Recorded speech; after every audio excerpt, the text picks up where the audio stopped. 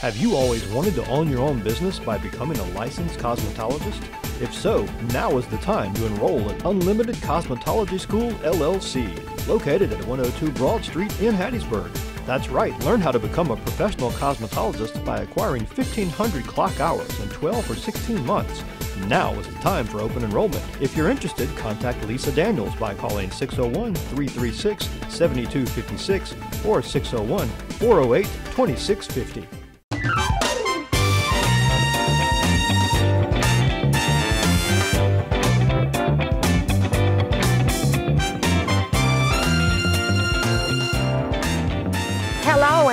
Christmas. This is a, an exciting day. We're getting ready for the Christmas season. We're in the Christmas season. We're getting ready to celebrate Christmas Day. And it's just such a blessing to come before you. I just love you. I appreciate you just think, we've done this thing until December of 2020, and we thank God for that. We are so grateful to God for all that He has done for us. And so today, I want to talk to you because we're all going through something right now. We are all, we've all been impacted by the pandemic, and there are just so many things going on. So I want to talk to you today about holding on to hope during this Christmas season, holding on to hope during this Christmas season. And you might say, well, what does hope mean? Well, hope means that you believe for an outcome. You believe that things are going to get better. And I'm standing with you. I know all, uh, all of you who are watching,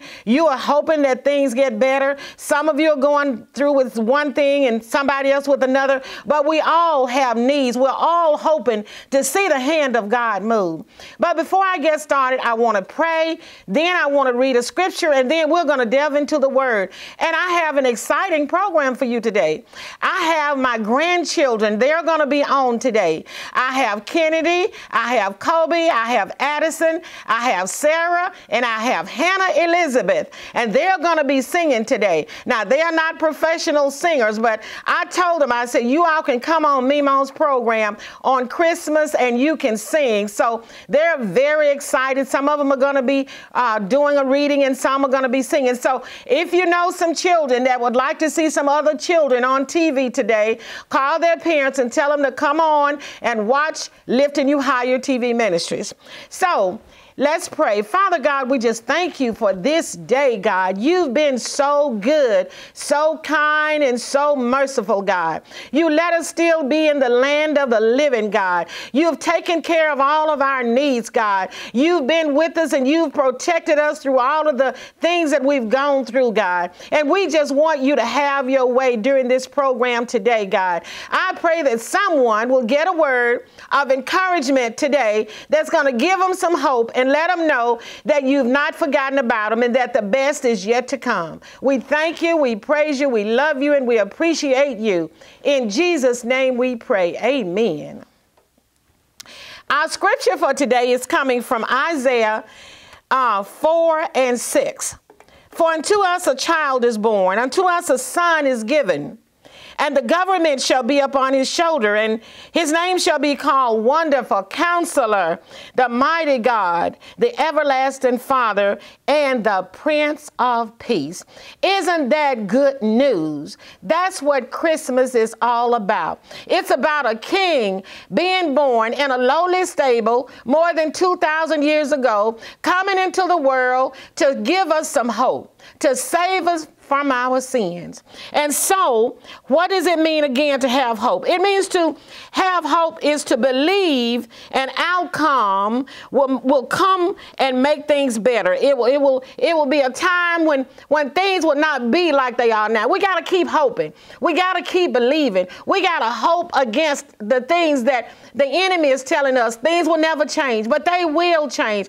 I am a firm believer that trouble won't last always. I am a firm believer that there's an expiration date to everything that goes on and that might be going on right now in our lives. Now, when we have hope, we see opportunity in challenges. I want you to remember this rather than challenges in opportunities. We see opportunities in challenges rather than challenges and opportunities. So that means while we're going through this, we are going to see the opportunity to serve God more, to pray more, to read the word more, to appreciate each other more, to love each other more, to reach out to our fellow man, to not think that we can make it on our own without Jesus being in the center of our lives. And above all, we are going to learn to appreciate God more, to thank Him more, to praise Him more, to love Him more, to serve Him more, while we are hoping for things to change around us. When we lose hope, we, we lose just about everything. When, when, when a person says that I have no hope, that means that they have given up. But we're not going to give up. We're going to look up. We're going to get up. And we're going to make up. And we're going to stand up and we're going to continue pressing forward toward the mark of the high calling which is in Christ Jesus. Because you know, I learned one thing it's not over until God says it's over. Romans 12 and 12 says, rejoicing in hope, patient in tribulations, continuing instant in prayer. We all have one thing in common right now. And that is, we all believe in God for something. And notice the scripture says, continuing instant in prayer. Be ready to pray all the time. Every day when you get up, get up praying.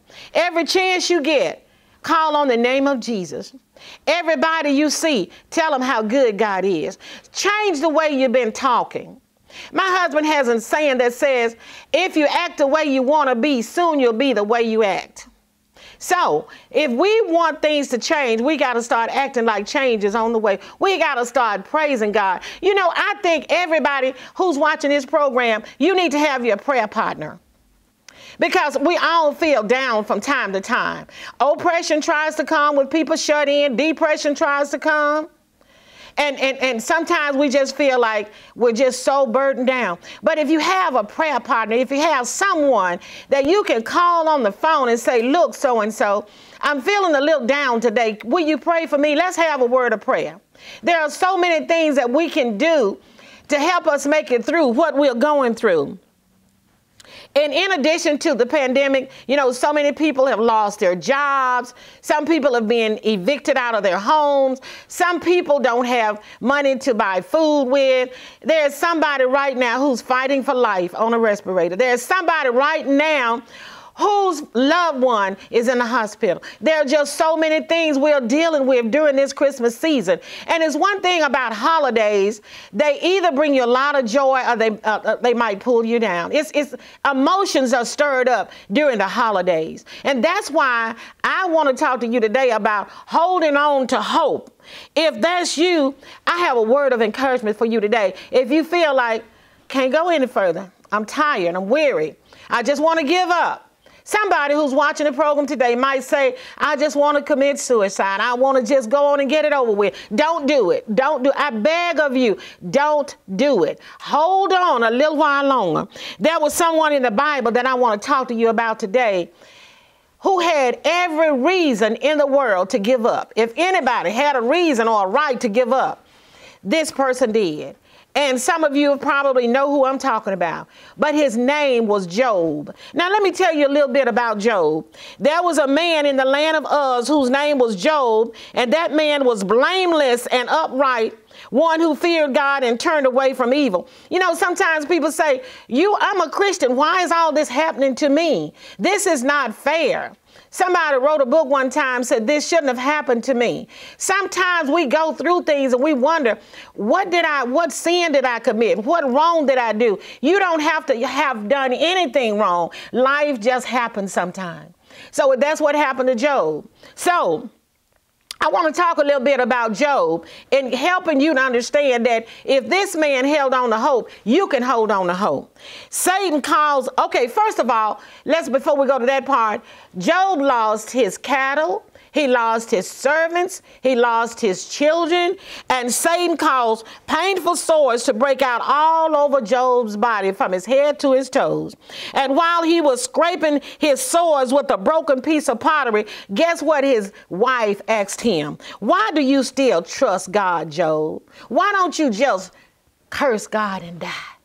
Now, it's one thing for somebody out there on the outside to tell you that. It's one thing to lose your children and your servants and your cattle, but when your spouse comes to you and say, go on and give up, curse God and die, he doesn't care anything about you. Is that if, if if the enemy has told you that, don't you listen to that. That is not from God. That's straight from the pits. You've got to stand and when the enemy comes in and says things like that, you have to have the kind of relationship that Job had with God. Because Job said, you know what? He said, Naked I came into this world in my mother's womb, and naked I'm going to leave here. But he said, God, he said, I am going to trust in God. He said, God gives and God takes away. He said, Blessed be the name of the Lord. And one time he said, Though he slay me, I'm still going to trust him. That's the kind of hope we have. But you know why Job could do that? Because Job had a relationship with the Lord. Job trusted God, and God trusted Job. Can God trust you? Can He trust you not to give up? Can he trust you to look in the face of all of the things that's going on around you and say, I still believe God. I'm still trusting God. I have lost my loved one. Some of you have lost your loved ones, and my heart bleeds for you today. But I say to you, you got to still trust God.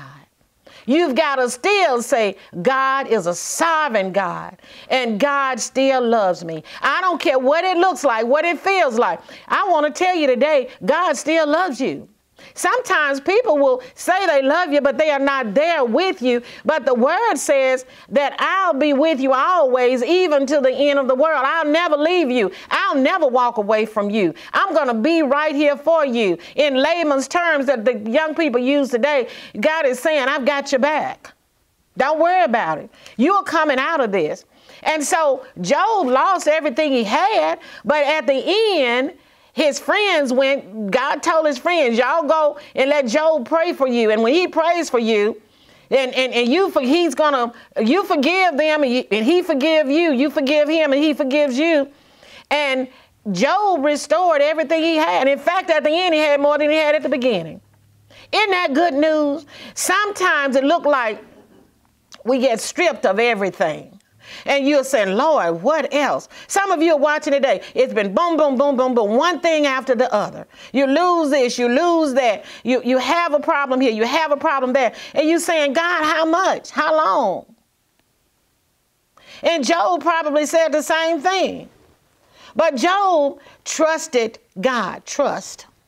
He kept hoping. He kept confessing. He kept believing. He kept loving God. See, when we're going through tests, it's not easy to say, Lord, I love you.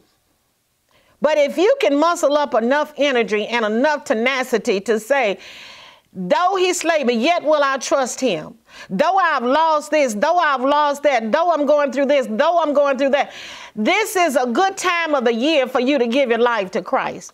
When I think about Christmas, I think about the wise men that came from the east because hope had come. Jesus had been born, born in a lowly stable, born out there where the animals slept. But guess what? He didn't want to be high and lifted up. He wanted us to know that he was a meek and humble lamb, that he came for all men, not just for the higher echelon, not just for the rich, not just for the famous. He wanted to know, I'm coming. He wanted you to know, I'm coming for all of you. I'm coming to save mankind from their sins.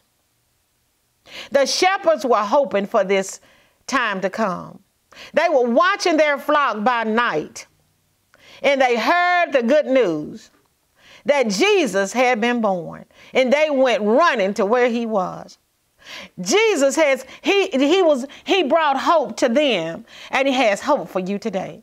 Some of you, you've sinned and you think, I've done too much wrong. I've, I've, I've been in sin too long. There's no way for me to get saved. Honey, you're just right. This is a good time for you to get saved during this Christmas holiday because that's what Jesus came for. He came to seek and save those who were lost. If we didn't need to be saved, he wouldn't have had to come to the world. God wouldn't have had to give his son, and his son wouldn't have had to give his life. But he loved us so much. Oh, how he loves you and me. He gave his life. What more could he do? Oh, how he loves you and me. And, and, and Jesus was born to set the captives free. We were all in captivity. We were all messed up from the floor up. There was no hope for us had not Jesus been born. And so during the time you're shopping and you're putting up your decorations and you're singing your Christmas songs and you're listening to your Christmas music, think about what Christmas is all about. And when you're going through and it seems like you can't go through, I want to give you some little nuggets of things that you can do. First of all, you can get on the phone and you can call someone else who's going through something as bad as what you're going through or maybe worse than what you're going through. And you can encourage them and only that that you give away ever become yours. While you're encouraging them then god is building you up because you're you're making a sacrifice. You're saying i'm going to help someone else. So i'm believing god to take care of my business. Because if we take care of his business he'll take care of ours Another thing you can do during this holiday, and I know it's going to be hard for some of you, there's going to be an, a, a, place at the table where your loved ones sat last year and they're not going to be there this year, and that's not going to be easy. But if you can just say, I'm going to think the way I want things to be. In spite of everything, I'm going to believe that God is going to give me some peace during this season. If you, during this season, can listen to some good upbeat Christmas music if you can memorize some verses from the Bible, so when this negative thing starts speaking to your in your ear, that you can quote that word and say, God said he never leave me and not forsaken me. God said he be with me always, even to the end of the world. And God is with me right now. And I can do all things through Christ who strengthens me. God is going to strengthen me to make it through this time. And God said that he loved me with an everlasting love. And God said that whatever things I desire, when I pray, believe that I receive them and I shall have them. And God, I want some peace today. I want to be able to make it through this holiday. I want to hold on to hope, God. I don't want to give up. I don't want to be shaken by what I see, what I've gone through. But I want to look to the hills from whence cometh my help. I want to call on the name of Jesus. I want to believe that God is here with me. I want to feel the presence of the Lord. Let me tell you something. Everywhere Jesus went, when he walked this earth, something happened. The people came to where he was because they were looking for hope, and he did something for them. And He's right where you are right now. Wherever you are, if you're in the hospital, if you're at home, wherever you are right now, Jesus is right there with you. That little baby that was born in a stable 2,000 years ago is sitting right next to you right now, has his arms stretched out saying, I love you. I am concerned about you. I know what you're going through, and I want you to know that I'm going to bring you out of this. You've got to encourage yourself in the Lord during this time. There are so many things that we can do. Uh, having hope at Christmas means knowing that God is for us. Therefore, our past need not limit our future. Don't don't think about what you've gone through in the past. Think about what God is going to do you do for you in the future. Think about the, the future being better than the past. Believe the word of God. Begin to quote. You know what? Someone said something to me yesterday, and I didn't like what they said. And you know what I did? I said, No, that's not going to happen to me. So and so and so and so. I wouldn't accept that. When the enemy tells, whispers something in your ears, you've got to switch your brain. You've got to guard your thoughts. Don't listen to that negative stuff. You've got to say something. For every negative word he says, you got to say something positive. You are all by yourself. You don't have anybody, nobody. Oh, yes, I do have someone who loves me. And there are people who love you. I don't care where you are today. I want you to know not only does God love you, but there are people in the world who loves you. On the on that Christmas night, that was a that was a holy night That was a night that brought hope to the world. It brought peace. It brought joy. And most of all, it brought salvation. Salvation was born at Christmas. Ooh, I felt that. Salvation was born at Christmas. Some of you might just want to say, you know what? I'm not Job. You talked about Job and how Job dealt with it, but I'm not Job. I'm talking about me right here, right now. No, you're not Job. But if you have the kind of relationship, if you build the kind of relationship with God that Job built, then you'll be able to go through it as well. You've got to decree and declare and make up your mind and resolve in your mind that you are going to strive to have some peace this Christmas. If you're still breathing, there's still hope. Now, if you're not breathing, you're not hearing me anyway. But if you have breath in your body and you can hear, you have ears to hear, you, there is still hope.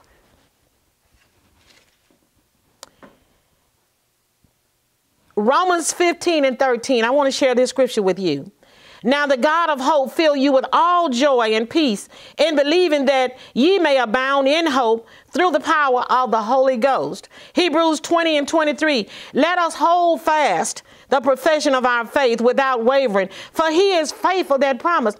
What does it mean to hold fast? It means to don't let go.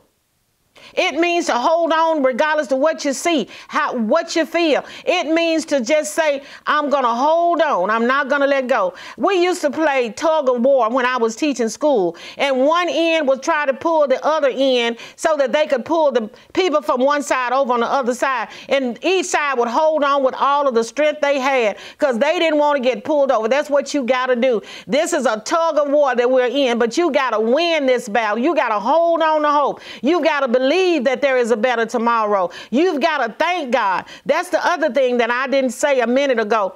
When you look around you, see what you have left. Everybody has something left. Start thanking God for what you have left. Because you know what? If you think him, if you thank him for what you have left, he'll give you more. He'll pull you out of the rut that you're in. I remember David said that he was in, in the mud and the miry clay, the muck and miry clay. But he called on the name of Jesus, and Jesus pulled him out. He said he was sinking, but Jesus pulled him out. Some of you today, you feel like you're sinking, but I want to encourage you. I want to tell you, I want to challenge you to believe and to know that you are coming out of this. This can be a Merry Christmas. God loves you. He never gives up on you. He sees the best in you that you often don't see in yourself. He knows what your future can be. He paid for your freedom with the price of his own son, Jesus Christ. Hold on to hope at Christmas. I'm excited about this Christmas. Despite what we're going through, I'm excited because Jesus is still Lord. He's still in control. He's still a God of love. He is still a, still a God of hope. And he said, his thoughts of you are thoughts of good and not of evil, to give you a hope and a future. There's a hope and a future in him.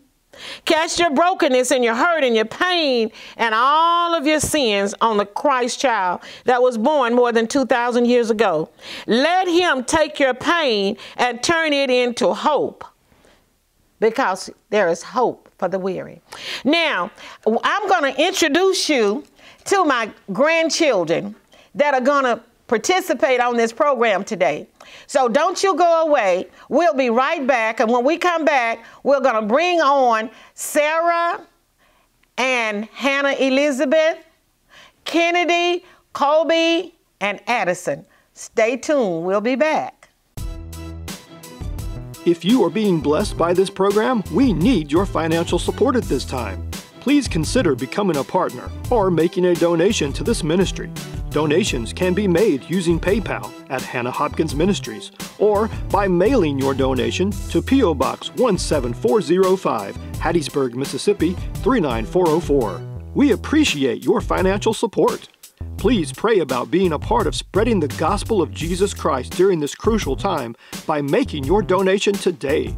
If you have a prayer request, please call us at 1 800 305 1928. If you don't get an answer, please leave your name and number and someone will call you back.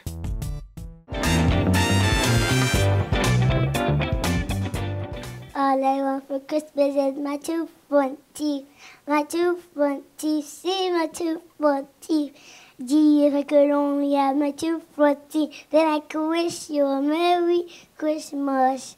It seems so long since I could say, This is Susie sitting on a distal. Gosh, oh gee, how happy I could be if I could only whistle. All I want for Christmas is my two front teeth. My two front teeth. See my two front teeth. Gee, if I could only have my two front teeth. And I could wish you a Merry Christmas. Merry Christmas, everybody.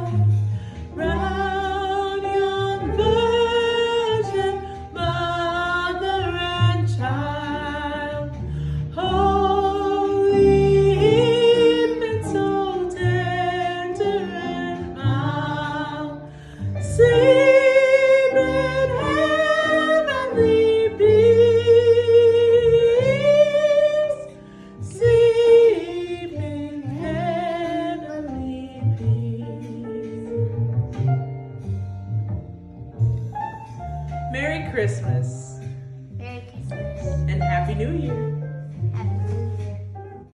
Merry Christmas to you all. May God bless you large and small. Merry Christmas, everybody. Merry Christmas, everybody. We, wish you a Merry Christmas and a Happy New Year. Have you always wanted to own your own business by becoming a licensed cosmetologist? If so, now is the time to enroll at Unlimited Cosmetology School LLC, located at 102 Broad Street in Hattiesburg. That's right, learn how to become a professional cosmetologist by acquiring 1,500 clock hours in 12 or 16 months.